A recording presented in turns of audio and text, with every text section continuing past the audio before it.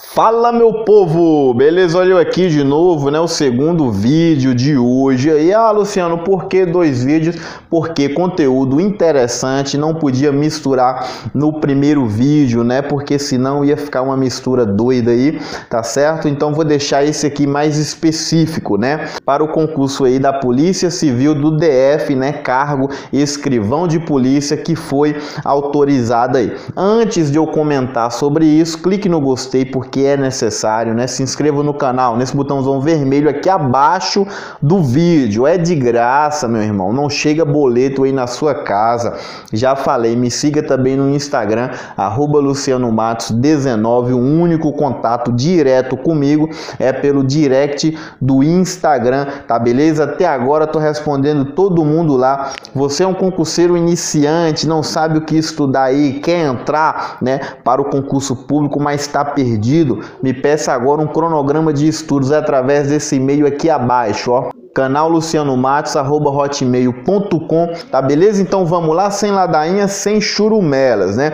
Saiu aí a autorização para o concurso aí da Polícia Civil do Distrito Federal, né? 300 vagas aí para o cargo de escrivão de polícia, né? Desde já eu vou te informar que é nível superior completo, né? Ah, Luciano, Tecnólogo serve? Essa é a pergunta que eu mais recebo no direct do Instagram e nos comentários aqui abaixo no vídeo, né? Serve sim para esse concurso, tá beleza? Então fique esperto aí. Ah, Luciano, quando é? Eu não terminei ainda meu curso superior. Eu posso fazer a prova? Pode sim, existe uma súmula do STJ 266, salve me engano, que diz que concurso público aí, né, que pede nível superior, só é necessário aí apresentar o diploma de nível superior na posse. Então, a prova não é a posse, tá beleza? A prova você pode fazer tranquilo aí.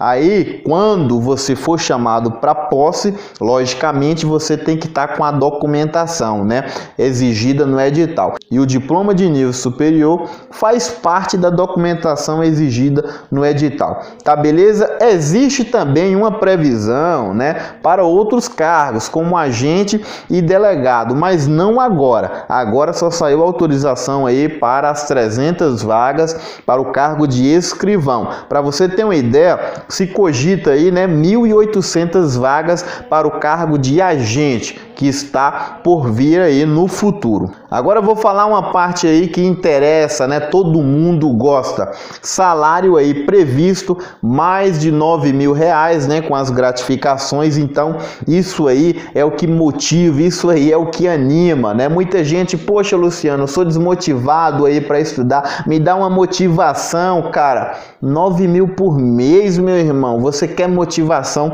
maior do que essa, né? Ah, Luciano, sou de outra cidade. É, 9 mil não vai dar para morar no Distrito Federal, não. Vai, quem foi que te disse isso, meu irmão?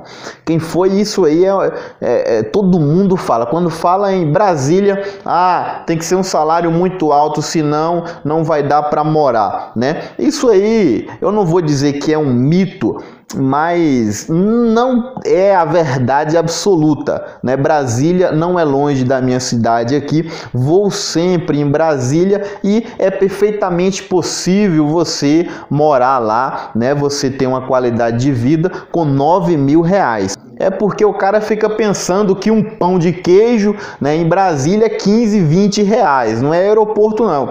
É lógico né, que lá vai ter lugar onde o produto é caro né? Ali no plano piloto, o Asa Norte, o Asa Sul, assim como tem na sua cidade também, né? Tem bairro na sua cidade que o produto é mais caro do que outros bairros. Isso acontece em todo lugar, mas isso é mais mito, né, do que verdade essa questão aí de custo de vida, né, no Distrito Federal. Não, isso é isso é mais mito, tá beleza? Pode ficar tranquilo quanto a isso. Luciano do céu, fale aí pelo amor de Deus, o edital não saiu ainda, né? Só é uma previsão, isso mesmo. Então, como é que eu vou estudar para esse concurso? Eu estou interessado. Primeiro, você vai estudar, né, baseando no último edital, né? Eu não vou afirmar com toda certeza que o conteúdo vai ser 100% do último edital,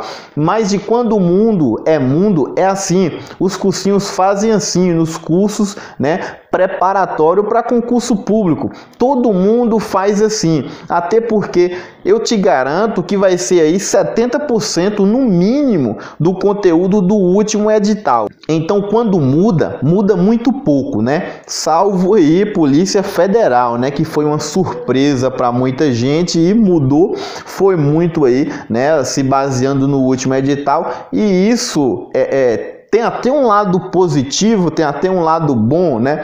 Digamos assim, por quê?